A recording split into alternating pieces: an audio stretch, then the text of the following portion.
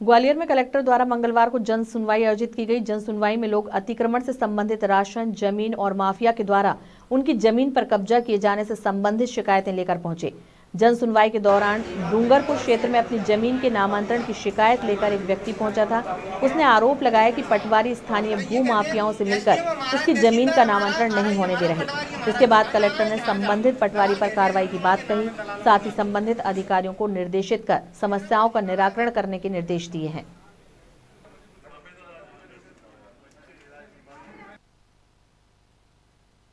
अरे वो हमारे ज़मीन वसीयत कर गए थे बाबा ढाई बीघा ज़मीन की जो कि आज बाबा चार पाँच महीने पहले ख़त्म हो गए थे पाँच छः महीने।